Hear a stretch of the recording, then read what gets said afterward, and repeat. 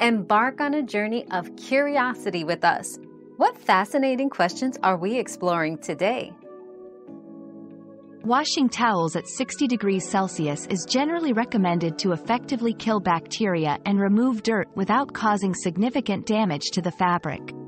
Washing at 90 degrees may sanitize the towels more thoroughly, but it's typically not necessary and can shorten the lifespan of your towels due to the higher temperature causing more wear and tear. Use the 60 degree setting for a balance of cleanliness and towel longevity. We've quenched today's curiosity, but there's always more to learn. Keep the curiosity alive by subscribing and joining us for our next adventure.